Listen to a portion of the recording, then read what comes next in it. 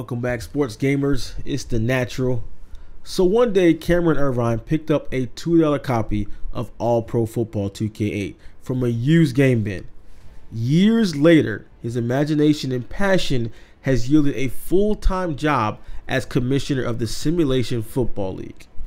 A group of former football coaches that have returned to watching film, identifying weaknesses in their opponents, and configuring game plans countless former football players with injuries and or age that prevent them from playing now are back on the field today in the virtual locker room battling next to their teammates vying for that championship that has always escaped them in real life. So the SFL is not only about strategy and game day drama it's about stories and dreams and it's available to everyone the SFL has over 600 real people that take the field each week Thousands watch on televised games on Saturdays. Weekly shows discuss last week's game and predict next week's outcomes. The immersion of it all now has many in the league caring more about the outcome of their SFL season than the results of their favorite NFL team games. So, what exactly makes the SFL so special? The game day experience, weekly podcasts, passion of its members and commissioner. It appears that Cameron Irvine has created the one thing that all of us video game football fans desire an immersive and engaging franchise experience. Now, does all this mean that the SFL is the best video game football league ever? Let's take a closer look and you tell me what you think in the comment section below.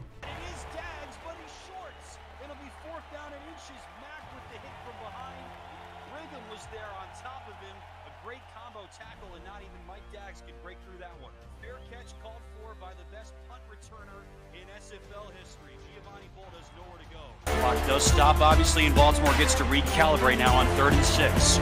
137 left. It's a three-man rush. Wigmore will bomb it for Chima. He high points it against Benefield and makes the catch. Off to the races he goes. Hit from behind by Dags. Inside the 30, and there's that Baltimore quick strike offense. And they burn a timeout. Interesting there, Tim, because what that means is if they score and they don't get the onside kick, all Mexico City has to do is finish the clock out it was a great play by Chima, an even better play by Mike da- or Jeffrey Daggs to track him down and make the tackle there inbounds, and it forced Baltimore to make it. Chima and Irvin have both been tremendous as they have been all season. One and two in the SFL in receiving yards in the regular year. Wigmore, short drop, floats it up, caught. First down, Baltimore. Gain of about 12 down to the 16-yard line. Chima's got another one. Running next spot out of this. Set for the Vulture this way. Irvin makes the catch, but he's stuck immediately by Brody. Not a good route. Got to go to Chima in the middle of the field right here. 60 seconds left in regulation. Baltimore down by nine. Under a minute now. Wigmore again, short drop. Bullets in one-handed catch. Stopped at the goal line. Wow. Wow. Dags is, wow is right. Jeffrey Dags with the stop. Irvin here throw. Wigmore, evasive action, checks it down. Oh, no way. And he's in. he's in. Touchdown, Baltimore. A TD for T-Roy. With 42 seconds left, this game ain't over. That was all Wigmore right there. He evaded the rush. Opening route with Irvin was not open at the bottom of the screen.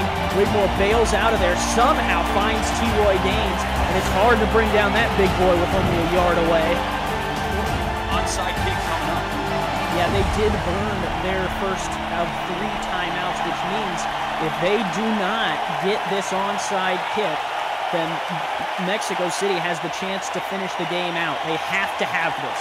The third all-time playoff meeting between two of the best SFL teams in recent league history. They split the first two. A spot in the title game at stake. The kick from Tarkington is picked Baltimore up has by it. Baltimore. Johnston who makes the play for Baltimore. Wow, unreal. Let's take a look at the replay, Tim. Off of the hands of the Mexico City defender. The second guy cannot dive and grab it, and Baltimore has a chance. Here's the thing only need a field goal. That block extra point means that a three point kick from Shark Tarkington wins the game, not ties it. They only need about 25, 30 yards to get in his range, you would think from their own 45. Wigmore wants more than that. Diving catch by Irvin. He's down to the 31. That's good enough right there. Yeah, if I'm Baltimore, I would run the ball right up the gut. They're not in the formation for it, but you can kick it from here. From the gun, Wigmore will throw again. Same play, same results. Irvin's got it again, down to the six. Clock running with 20. And they have plenty of timeouts here. Baltimore might have just put themselves in the championship game. Back to back big time throws from Jack Wigmore to Ivory Irvin. Now Shark and company have a chance to breathe. Snap from Robert Clayton. Hold from Adam Jefferson. The kick from Shark Tarkenton, who's second all time in SFL field goals made with better than 200. Snap down, hold down. The kick from Tarkenton is good. And with triple zeros on the clock, Baltimore walks it off. The number one seed Vultures are into the title game for the second time in three years. Wow.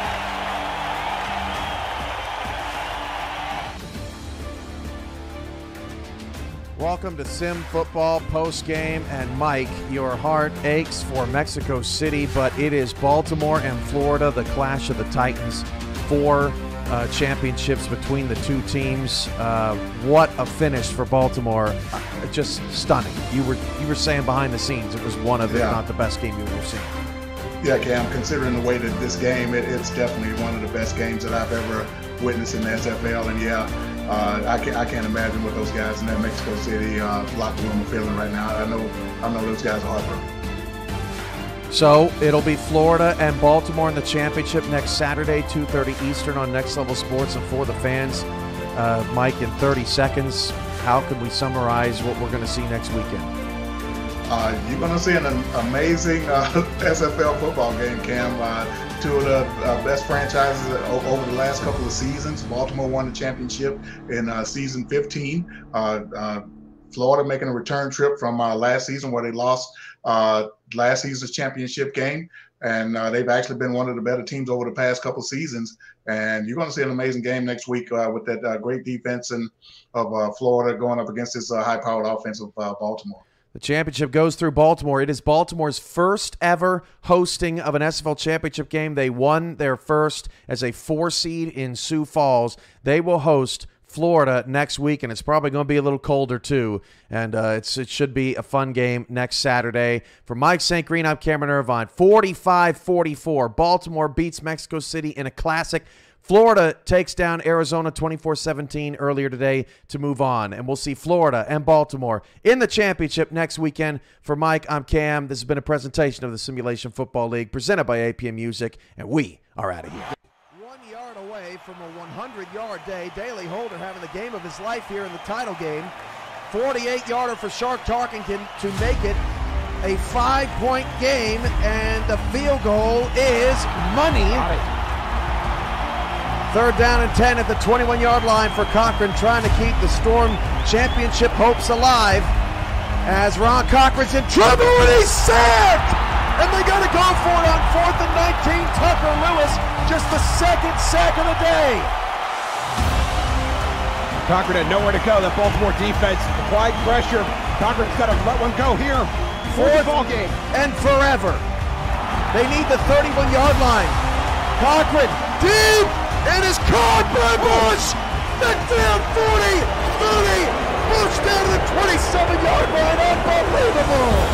They're out of timeouts. They got to run up and spike it. Second and 10 at the 27 yard line. Cochran cannot take a sack. Cannot take a sack. Oh, Cochran goes down. They're not going to get back in time. Going to win their second championship. Unbelievable finish. Congratulations to Baltimore for coming back and getting their second title in three seasons. Eric Benson alongside Mike St. Green and Damon Simeon. Fellas, what a game. Like, th- this was one for the ages here. I mean, I, know we had a walk-off field goal last year, but eh, come on, man. Like, th- this this had it all. This had it all. Mike St. Green, I'll go with you for your first reaction. Yeah, Eric, man, look, it's a couple of things you live for when you uh, join this league. One, uh, you look forward to you know being in the part of the draft and hearing your name called, and the other one you look forward to is participating and being or even being a part of this game, uh, uh, this championship uh, game and champions championship atmosphere. Man, it it was great being here watching. It was great watching the game itself. I mean, incredible game. Uh, Baltimore. I mean, kudos to Baltimore. They they've been they've proven they've been the best team all season long, and they proved it in the second half today. These guys were down. And ladies and gentlemen, the first pick of the draft is in. We will send it to Cameron Irvine for the first overall pick in season 18's draft. Good evening, Tyler. How are you? I'm doing fantastic, Cam. It's good to see you again. Yes, good to see you as well. Rookie draft night, always sensational, and we are ready, over 200 people watching, to see who's going to get the number one overall pick. It is Tulsa's, and their pick is in. With the first pick of the season 18 SFL rookie draft, the Tulsa Desperados select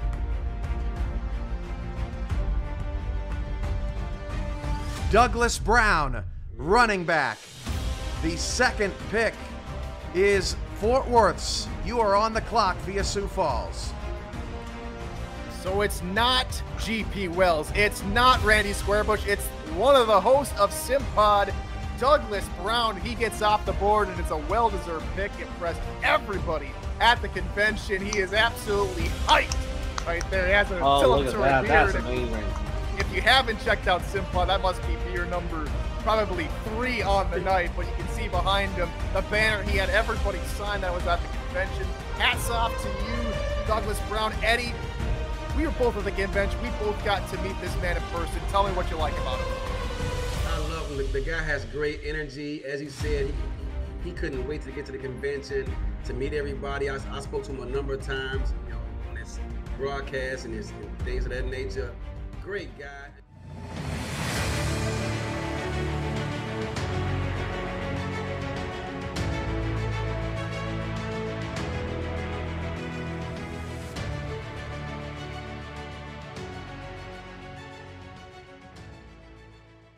If you appreciate our content and all the work we do to bring you guys the latest news, tips, and gameplay from your favorite sports games, drop a like, subscribe, SGO today. You want to take your game to the next level? Then join SGO Insider.